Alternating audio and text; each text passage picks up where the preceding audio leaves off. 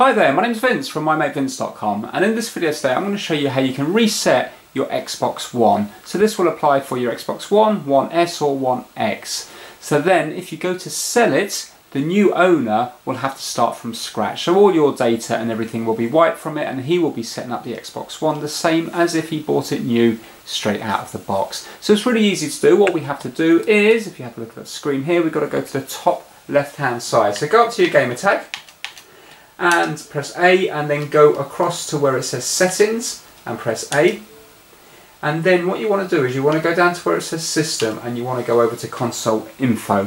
Now I'm just going to uh, zoom in on the right hand side because there's a lot of information on here. Right okay so I'm just going to press A on console info and if you have a look it gives you three options there and one of them is reset console. So I'm going to press A and now it says here, reset your console and it gives you some options. So it says if you reset, your console will restart and erase all accounts, save games, setting and home Xbox associations. You can choose whether to keep or erase your install games and apps. So let's say if we want to reset it completely, we're going to go there, reset and remove everything.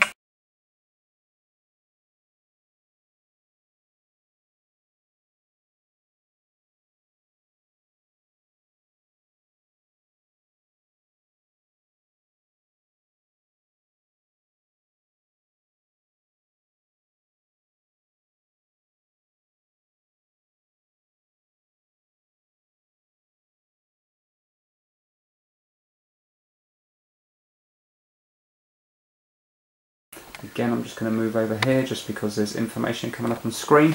So I'm going to press A. And now the screen will just go blank. Now don't panic, it's going to stay like this for quite a few minutes and then the Xbox will start resetting itself. Now if you're going to move over to an Xbox One X or you plan to get another Xbox One in the future, it's not a problem because all your game saves and digital games will be saved up in the cloud anyway, so when you log in using your gamer tag, it will all be available to re-download again on your new Xbox. Right, so right now the Xbox is just resetting itself, so the uh, fan's gone off and now it's just booting itself back up. And it says preparing console. Don't turn off or unplug your console.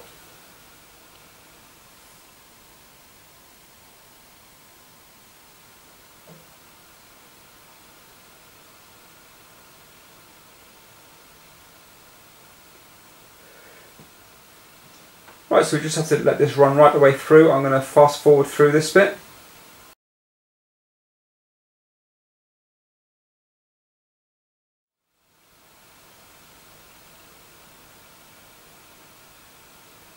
There we go, and as you can see now, this is the same screen you get when you first full turn on your Xbox when you buy it brand new, or when it's been completely reset, like in this case here.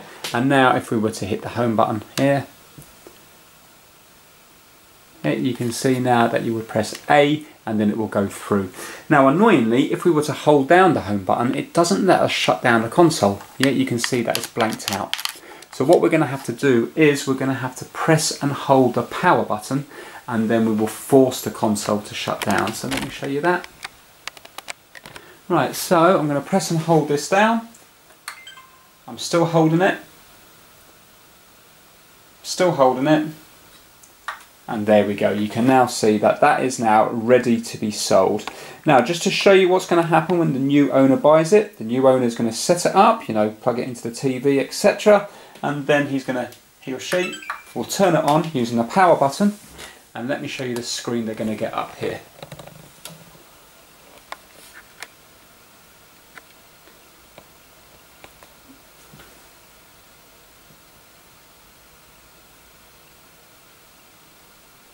Okay, so you can see it's just preparing the console and then when it's done that, it's going to come up with the screen that you've seen a minute ago where it's asking you to turn on your controller.